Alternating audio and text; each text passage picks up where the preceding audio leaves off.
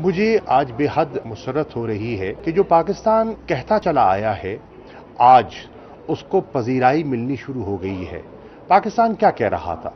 पाकिस्तान दुनिया की तवज्जो मबजूल कराना चाह रहा था कि अफ़गानिस्तान की सूरत हाल नाजुक है, काबिल गौर है। वहाँ एक इंसानी बहरान एक ह्यूमैनिटेरियन क्राइसिस जन्म ले सकता है। पाकिस्तान ये बावर कराना चाहता था दुनिया को कि इकोनॉमिक कलेप्स जो अफ़गानिस्तान का है, वो पूरे खत्े को मुतासर करेगा। अफ़गानिस्तान को सिर्फ़ नहीं, पूरे खत्े को मुतासर करेगा। जितने पड़ोसी हैं, उनको मुतासर करेगा।